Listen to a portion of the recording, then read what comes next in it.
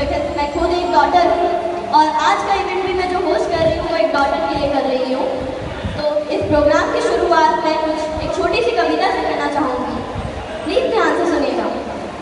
बेटियाँ सबके नसीब में कहाँ होती हैं? रब को जो घर पसंद आए, वहाँ होती हैं। बोए जाते हैं बेटे, पर उठ जाती हैं बेटियाँ। खाद पानी बेटों को पर लहराती हैं बेटियाँ। स्कूल जाते हैं बेटे, पर पढ़ जाती हैं बेटियाँ।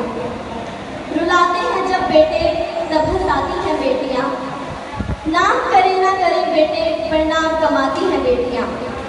जब दर्द देते हैं बेटे, तब मरम लगाती हैं बेटियाँ। थैंक यू जितना खूबसूरत सा प्रोग्राम है, उतने ही खूबसूरत हमारे मेहमान हैं, और हाँ उतनी ही खूबसूरत हमारी आध्या है जिसके लिए आज हम यहाँ पर सब लोग आए हैं। तो मैं चाहूँगी एक बार हमारी